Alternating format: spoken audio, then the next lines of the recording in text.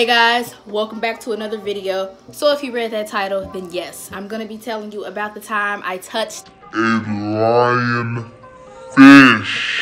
For those of you who already know what a lionfish is, then yes, I know you're thinking like, why would you touch a lionfish? And I'm gonna get into that. And for those of you who don't know what a lionfish is, a lionfish, in a short definition, is a venomous fish. It's a very colorful, exotic fish with long, flowing fins that have barbs inside of them that will sting you. And yes, they hurt very, very bad. So it was two days before the 4th of July. And I remember that because my aunt's birthday is on the 4th of July. I was over my aunt's house with my sister and my cousin, my older cousin, was there cleaning my aunt's fish tank. My aunt has always had these big, elaborate fish tanks with all kinds of pretty fish inside of them.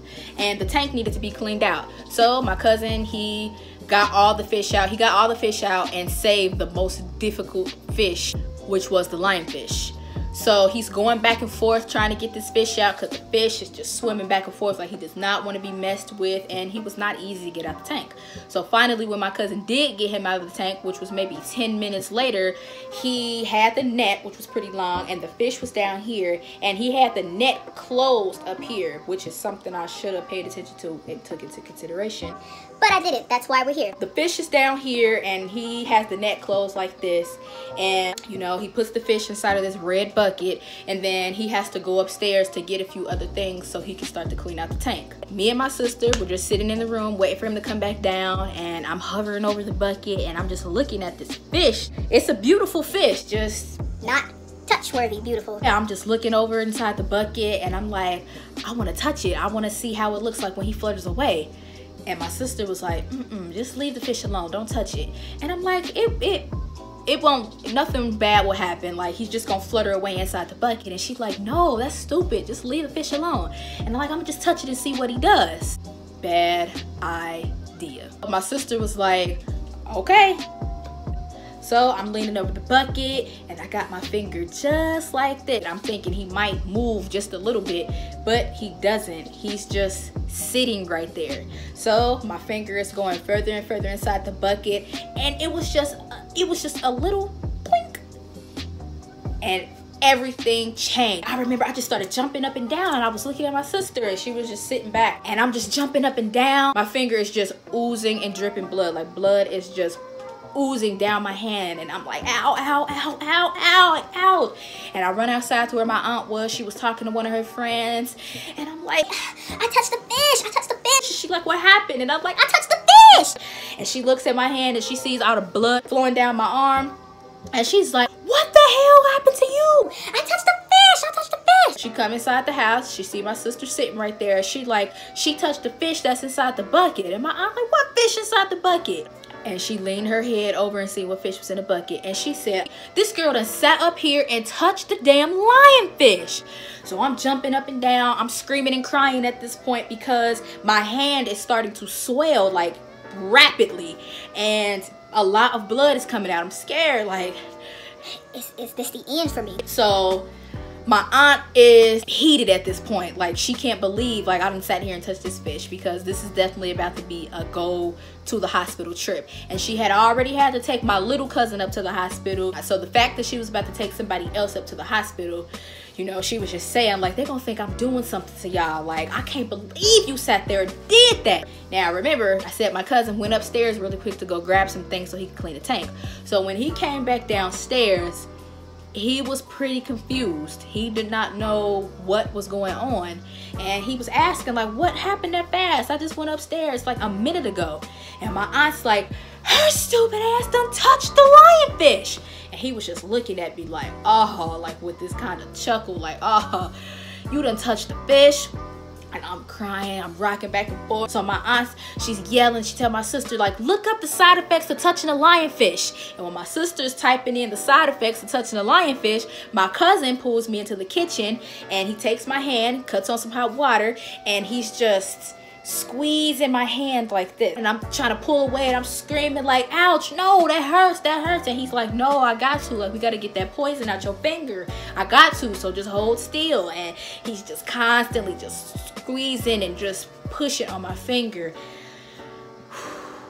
That hurt so so very bad. Y'all get inside the car and my aunt like is enraged at this point. She's trying to get a hold of my mom, and my mom's not answering the phone. She's not answering our home phone or her cell phone at the time. I think she was out to eat or something, but she didn't hear her phone. So my aunt was leaving voice messages like, Um, hello, pick up your phone. Your daughter done sat up here and touched the damn lionfish. Meanwhile, my sister just sitting in the backseat of the car, just chill, nonchalant, just letting the wind blow through her hair. I guess she was feeling pretty justified because she told me three times not to touch that fish, that it was a bad idea. I'm sitting in the passenger seat of the car and I'm asking my aunt, like, crying like are we almost there? Are we almost there? And she's looking at me like just shut up. I don't want to hear nothing. Just shut up.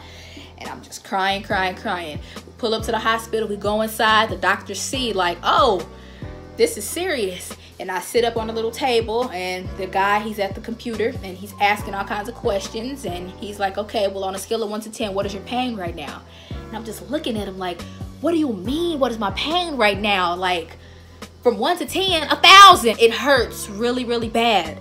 And then he asks like, okay, um, what exactly happened? And this is where Children's Hospital history was made. No one had ever came into the hospital with this particular problem before. So this was something new to all of the doctors. Majority of them had to look up exactly what a lionfish was. They had never even heard of this fish before, so they were just confused. Like, um, okay, uh, where were you at when this happened? And I got asked that question so many times. Where were you at when this happened? And why did this happen? And what made you do that? And this was something that the doctors never dealt with before. They didn't even know how to properly like treat me. They didn't know what to do. So, you know, they just they had to do an extensive amount of research and they ended up coming with the solution of soaking my hand in hot water. They took me into a room and they got me all set up. They were keeping track of my blood pressure and everything and I was just kind of sitting there with my eyes rolling to the back of my head just in pain. Not too long after that, once I'm sitting in the room with my hand in the bucket, um, my mom and my dad comes in. Obviously, my mom's heard the story at this point and she just comes in and she's looking at me like, Mm, mm, mm. That was pretty stupid. And my sister, she's just still sitting there. She's just feeling good. Like she's just telling everybody like, I told her not to touch the fish. I had to stay in the hospital overnight. They had to monitor me and, you know, just make sure everything was going to be okay, especially because they had never had a situation like this before. And my my hand at this point was starting to swell. Like it was beyond just my finger. It was my hand all the way up to my arm right here. So it had got pretty bad and um, that pain was terrible. So the next day, there was a new group of doctors that came in and they had all heard about the story, but they wanted to hear from the girl who touched the fish herself. What happened? What made you touch this fish? Where were you at when you touched this fish? Wow. Like all the doctors were in just such shock. And come to find out, my little cousin that was taken up to the hospital, he ended up being right across the hall from me. I'm in one room and he's literally right across the hall. So that was an even more uh, crazy situation. I remember I posted a picture up on Facebook of the results of my hand after touching the fish and everybody was just like well wow uh that was smart of you. And you know those are venomous fish right? And i'm just responding like well obviously no i didn't know it was a venomous fish. That's why i touched it. That's why i'm sitting here at the hospital now. I definitely learned to leave exotic creatures alone. Leave them alone. Look but don't touch. So anyway, that was my story, guys, on touching a lionfish. Don't touch a lionfish, guys, because it hurts. If you guys enjoyed that video, please give it a thumbs up, subscribe, go check out my other videos, and I will see you guys in the next video. Peace.